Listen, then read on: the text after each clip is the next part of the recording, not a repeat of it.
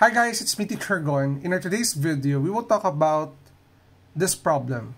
This problem is under evaluating function wherein this problem is a requested topic or problem from one of our followers from TikTok. So without further ado, let's do this topic. We are given here function f. So what we have here is function f of x is equal to x squared minus 2x.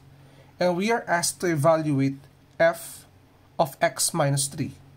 Here guys, in this kind of notation, your input here is x minus 3. What do I mean by the input? Meaning, you will replace the variable x from the original function, ito, using x minus 3.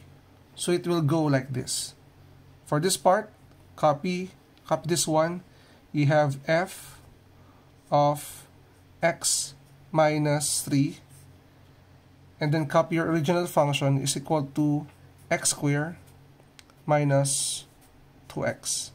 Katulad ng sinabi ko kanina sa inyo kanina, this will be the input or this x minus 3 will replace the variable x here.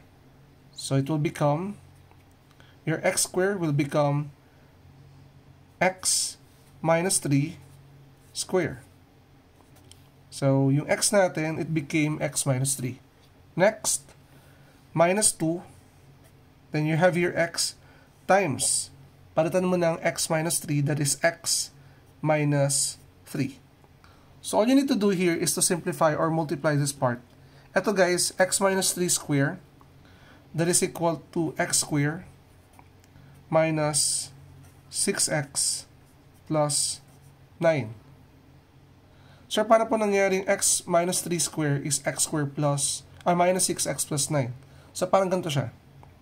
Uh, other part of solution lang to ha. You can do FOIL method kasi yung x minus 3 square natin is the same as x minus 3 times x minus 3. So, pag nag-FOIL method ka, it will become x square minus 6x plus 9. Or may pattern naman tayo ng square of binomial. Okay? Parang ganito lang siya. Yung pattern natin ng shortcut.